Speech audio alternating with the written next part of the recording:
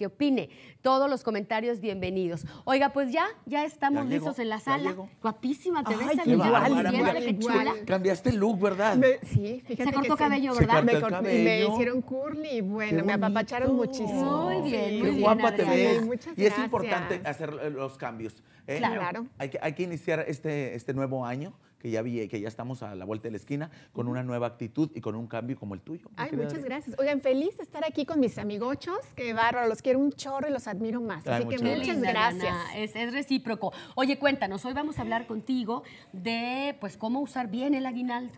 ¿Te nos puede fugar de pronto si no tomamos en Claro. cuenta algunos detalles? Sí, por supuesto. Bueno, para empezar es importante saber que todos los que trabajamos tenemos el derecho de recibir un aguinaldo. No crean que es un dinerito extra, no, No es crean un que regalo. no es un regalo, es una prestación. Si tú estás en nómina, es bien importante que tengas como esa idea de que te mereces tu aguinaldo antes del 20 de diciembre. Ándale, si eso no ocurriera, pues puedes pedírselo así a tu patrón. Así es, Es y bueno, legal que ocurra.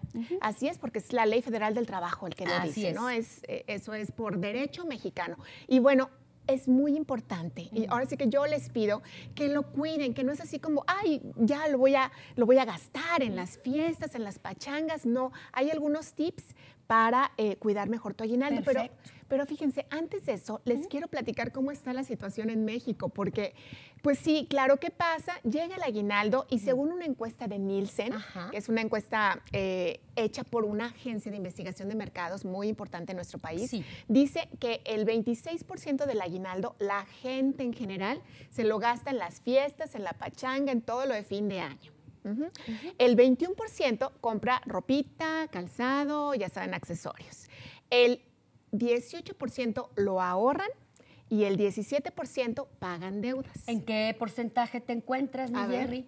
No, pues yo creo que en el, en el de pagar deudas. Ah, muy bien, bueno, muy bien. ¿Y no, tú? hombre, yo creo que en el de la ropita. Se te La gusta a verdad, sí, la ropita. reconozco, me reconozco. Te reconoces. Sí. ¿Y qué es lo correcto? ¿Qué es lo que deberíamos de hacer? Bueno, ¿Qué es lo que nos sugieres? Yo les- más bien es como recomendación, porque bueno, Sí, cada claro. quien, yo honestamente, yo sí pago deudas. Sí. Sí. o sea, como la mayor parte de mi salario, de mi aguinaldo, sí se va a pagar, pagar deudas. Pero Muy bueno, bien. ¿qué hago yo? ¿Y qué les recomiendo que hagan en casita? Primero que nada, tener un presupuesto. Mm, claro. ¿Sabemos hacer presupuesto? Muchos de nosotros no. No, ahí les va así súper fácil. ¿Cómo hacemos un presupuesto? Pensar, ponte a pensar, ponte a imaginar qué es lo que vas a gastar, o sea, tu lista ideal. ¿Y cuánto cuesta? Así que, que quiero el regalito para la abuelita, para mi papá, para mi hermanito, para a ver cuánto, qué y cuánto. Muy bien. ¿Cuánto voy a gastar para la cena? ¿Cuánto voy a gastar de gasolina? ¿Cuántos, ¿Cuántos son esos extras? Y vas haciendo la cuenta y seguramente va a ser más de lo que vas a recibir. Claro. Yo creo que también hay que dejar una- un rubro para imprevistos. Así es. Porque Es luego se nos cierto, pasa de que "¡Ah!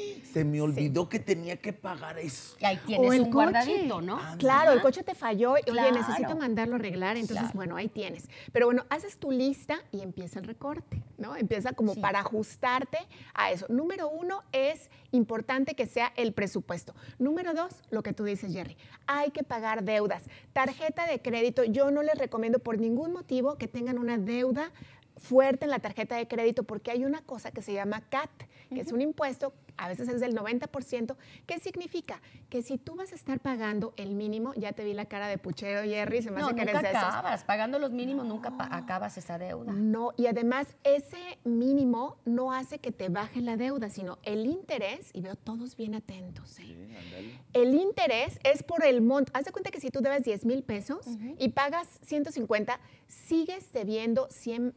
Sigues Sí. debiendo 10 mil y el impuesto, el CAT es por esos 10 mil. ¿Qué va a pasar? Que el año siguiente ya no vas a deber 10 mil, vas a deber 19 mil. Cuidado con las tarjetas porque nadie sabe eso o en general hay que cuidarla.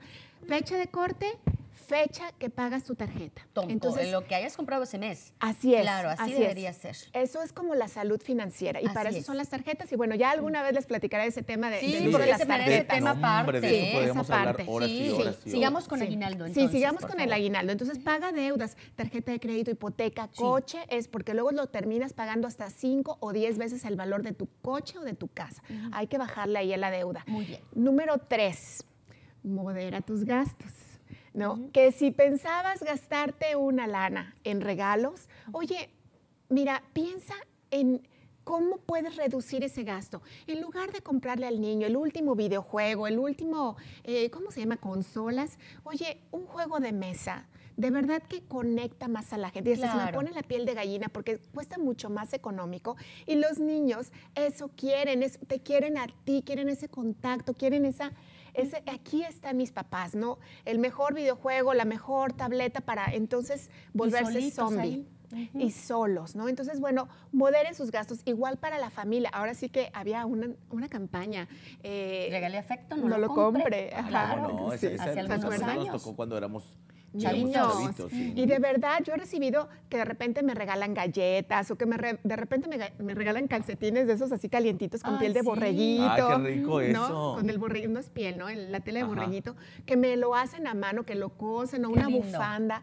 De verdad que esos regalos, si todavía los tengo, los conservo y los llevo en el corazón. Bueno, ese es el tercer tip. Nos vamos al cuarto. Para ti y para Ajá. mí, que nos encanta la ropa, los Uy, zapatos, sí. accesorios. Oigan, espérense a enero. Ay, sí es cierto. En enero. Los La Espérense, ¿qué les cuesta? Y Son compran dos mucho días. más. Y sí, hay veces, oye, chamarras 40%. Y punto final. Y número cinco, ahorra. Mínimo Claro. el 10%. Pero ¿saben una cosa? No nada más de tu aguinaldo. Yo les diría, desde ahorita empiecen a ahorrar 10% de tu sueldo, sepáralo, autorróbate y vas a ver al final del año lo que vas a poder acumular. Gracias por todos los consejos, los buenos tips, Adriana, y a cuidar ese aguinaldo. Si la gente tiene duda, ¿en qué redes sociales te encontramos, Adriana Loaiza? Adriana Loaiza Coach, Coach, Coach en Facebook y también en Instagram, Adriana Loaiza Coach. Ahí estoy respondo todas las dudas, todo, todo. Y bueno, tengo muchos videos, muchas transmisiones en vivo que les pueden servir. Perfecto, Adriana Loaiza, gracias. Los quiero. Un encanto Gracias. tenerte en casa de vida y estilo. Pero tenemos más, así es que lo que recomendamos, mi Jerry, es que no se desaparezca, No, no, no, se no, vaya no. Lejos.